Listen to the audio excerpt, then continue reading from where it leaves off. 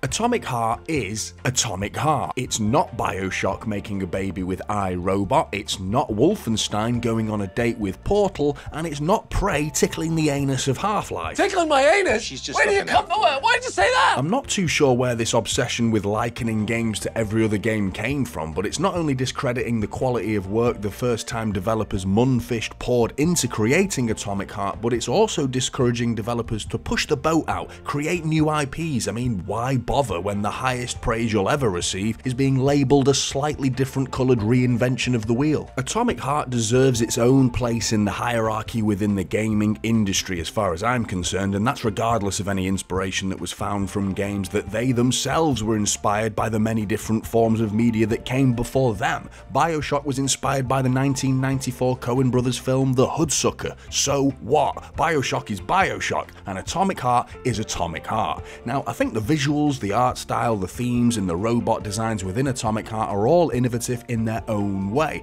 There's an unsettling vibrancy and aura of overwhelmingly contemplative citizens, blissfully unaware of the impending dangers while surrounded by the Soviet Union's iconography. The blank faced, mono emotion robot designs create an even bigger sense of division between human and mechanical life forms, while the latter does everything to persuade the former that they belong. But for me, the looting mechanics are the closest thing to a genuine innovation. It's so simple but inexplicably satisfying, and for those that need a gaming comparison to understand, think of looting as Power Wash Simulator. You see, things can get really weird with comparisons if we're not careful. Simply holding down the right bumper and sweeping your cursor over every lootable container in the room will see clusters of random bits and bobs vacuumed straight into your inventory to later use when crafting or upgrading your weapons, as well as upgrading your character's skills. Like I said, such a simple feature, but with so much looting to do, it's a refreshing way to get the job done while satisfying any OCD tendencies you might have in the process. Atomic Heart isn't exactly rife with totally original innovations, but there was one other that's worth mentioning. I mean, how many other games can claim to have a sex crazed vending machine that rapes the player? Rebellious dominant men really turn me on. Oh, I'll turn you on, all right. When it comes to the writing on the whole, I think it became pretty clear after meeting Nora the perverted sex pest vending machine slash fridge that the narrative shouldn't be taken too seriously, like at all. I was a little shocked to be honest, and while I'm fine with comedic angles being organically found within any narrative, and I definitely found Nora to be pretty hilarious, there were other moments of intended humour that didn't quite land. The playable protagonist, for example, known as Major Nechaev, codenamed P3, he's constantly cracking wise remarks and sarcastically cursing at anything that dares to open a dialect with him. You dickhead. He's pretty cringe at times, and I've seen this character a thousand times before, and this attempt at witty repartee doesn't quite land for me, and certainly not in such a contrasting and calculated aesthetic. P3 is in the employ of Professor Sechenov, a member of Soviet Union scientific geniuses whose groundbreaking technological advancements have propelled the USSR to becoming the dominant nation in the world. As these mechanical creations predictably turn from robotic to problematic, it's up to P3 to investigate and solve the mystery behind these rogue androids. Basically, the game contains a lot of serious political affairs and dips its toe into real world events, so for comedy to be such a prominent intention was a little surprising, and that's not entirely a criticism either, because what's even more surprising is some of the comedy actually works, bar the odd cringy one liner here and there.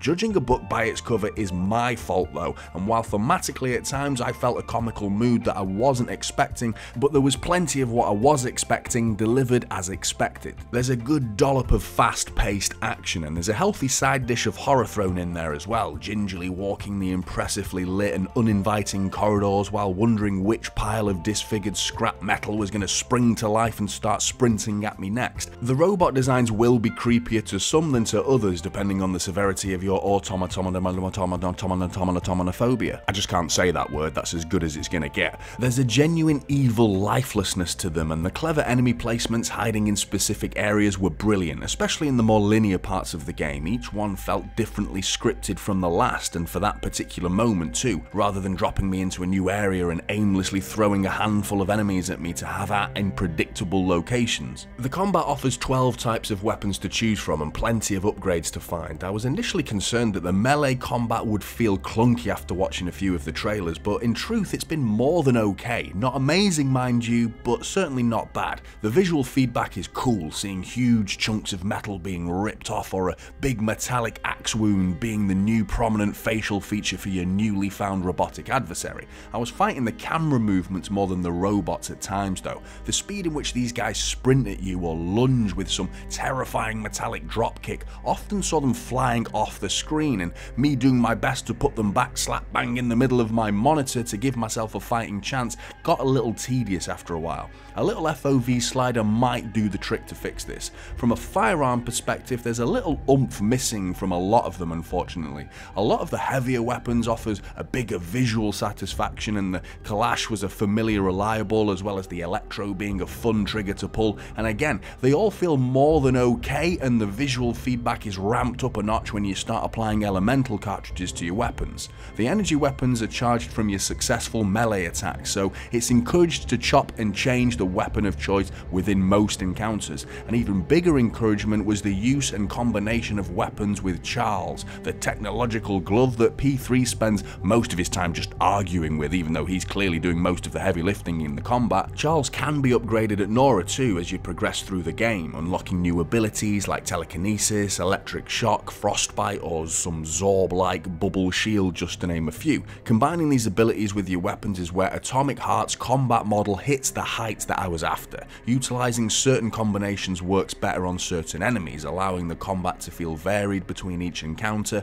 balancing when to attack and when to defend nicely, and making some good use of well-timed dodges. Charles is used outside of combat too, entering an X-ray mode highlighting the interactables and enemies in the process. Those that have watched a few of my videos before will know I am not a fan of this, in particular in games that emphasize looting. It removes that rewarding feeling of finding something using my own two eyeballs, and it's even more frustrating when there's evident care been taken towards the enemy placements in the linear areas and being able to see them all in the next room before entering that room craps all over the fear factor. Charles can also be used in a few fun varying mini puzzles as well, some of which are essential and others that aren't, offering a little breather from the core gameplay loop of kill, loot, upgrade, repeat. Another gameplay system was the traversing and platforming, and even though they weren't that frequent, they were still frequent enough for me to notice the mechanics do feel a little janky. There's certainly no intention for the player to be free running around the level design, but when asked to traverse or platform, it's pretty cumbersome.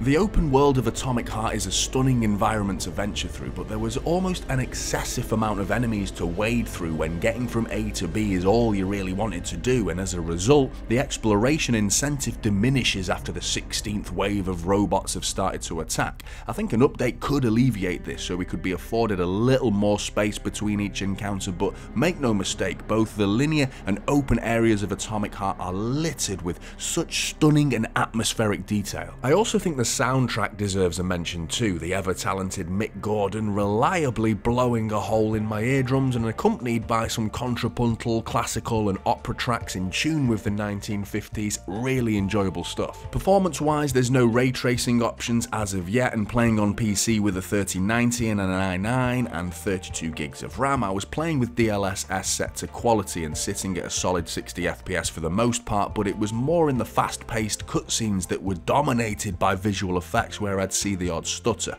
Overall though, a very smooth and well optimized experience. Ultimately, Atomic Heart ticks a lot of boxes for first-person shooter action RPG fans, and while it doesn't exactly excel in any of those boxes that have been ticked, it certainly doesn't fail or fall below the expected standard in any of them either. It's a very well-rounded game and one I've thoroughly enjoyed playing and genuinely believe it deserves more than to be compared to previous games of similar genres, and let's not forget this is the developers Mundfish's first game. Hats off to them. Game Pass subscribers, Atomic Heart, absolutely worth your time. PS5 owners, a little harder to recommend at full price in truth, but depending on your bank balance, I mean, I could say that about literally any other game with the prices these days. It's ridiculous. Even so, I'd still say Atomic Heart is worth the investment on whatever platform you're playing on. Let me know your thoughts in the comments below, and I'll see you in the next one.